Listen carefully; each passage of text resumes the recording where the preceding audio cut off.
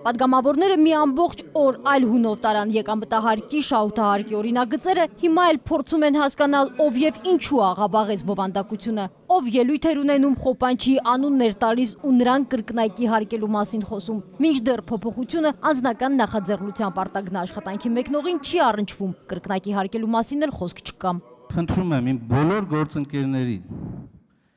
չասենք բաներ, որոնք որ իրականում այս նախագծում չկան եւ բացասական ազդեցություն են թողնում հանրության մոտ։ Ելույթների 90%-ը չեմ կարող չնշել, որ իրոք կապ չուներ այս օրենքի նախագծի հետ։ Իրականության մեջ այս նախագիծը վատը չի։ Մեծամասնության համար հանելուկ չկա, նախագիծը չհասկացավ նա ով չուզեց։ Հենց չուզողներին էլ կոչ են անում չվնասել օրինագիծը սեփական ամբիցիաների պատճառով։ Մենք հնարավորություն ենք ստեղծում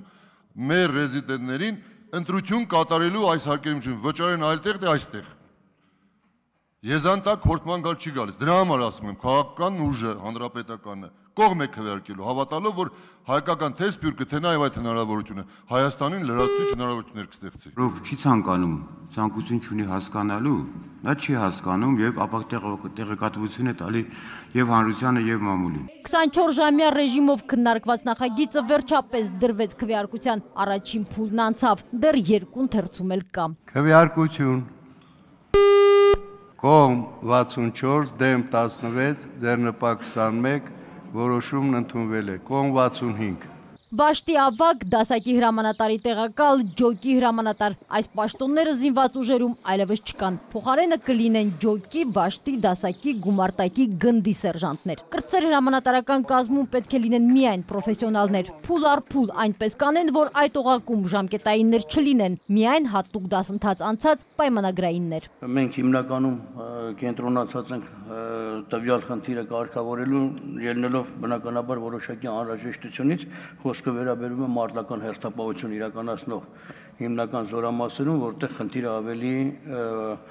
լուրջ է, արդիական է։ Որ սերժանտն ինչ պարտականություն ունի, օրենքը սահմանում է մանրամասն։ Սերժանտներից բարձրագույնը գնդինն է։ Հենց գնդի սերժանտին կզեկուցեն կարգապահական խախտումների մասին։ Նա պարտավոր կլինի բոլոր սերժանտներին իմանալ անուն ազգանունով ու նույնիսկ հայրանունով։ Պիտի տեղյակ լինի, ով ինչով է զբաղվել մինչև զորակոչվելը, ինչ բնավորություն ու հակումներ ունի։ Նրանից է կախված լինելու նաև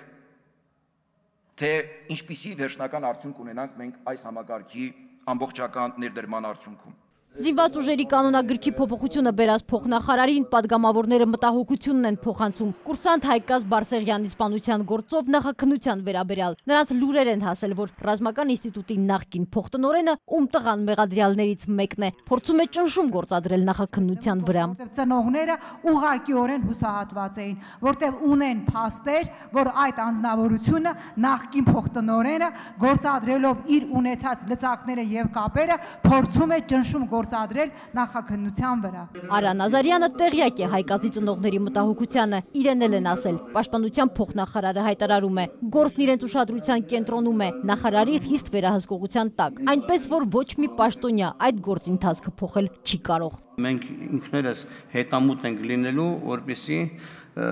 խստագույն, այսինքն արդարացի բառը օգտագործեմ, որպեսի չստացվի ճնշում են գործնում, արդարացի արդար պատժի ենթարկվեն։ Փոխնախարարի պնդումը դարձյալ խիստոնով ազգային ժողովի փոխնախագահը շարունակեց։ Եվս մեկ անգամ վերահաստատեցինք բոլորս էլի, այստեղ ում տղան է, ում տղան չի, լեցակ ունի, լեցակ չունի, շկապ ունի։